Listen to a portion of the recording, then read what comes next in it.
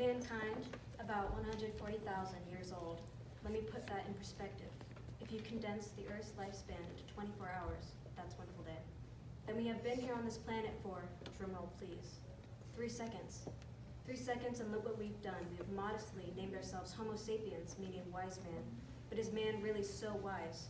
Smart, yes, and it's good to be smart, but not too smart for your own good. Yes, we split the atom, navigate the universe in search of new homes, but at the same time, those atoms we split created nuclear warfare, and our quest to explore the galaxy rejects and neglects the home that we have here now. So no, that cannot be wisdom. Wisdom is different.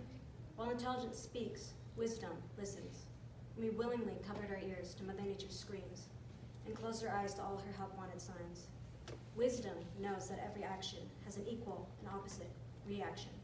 So if we were wise, we would not be shocked when we see storms stronger than ever before. Good. Tell me, what cultural event did you see? I saw um, Once Upon a Time in Hollywood. And how was that? It was.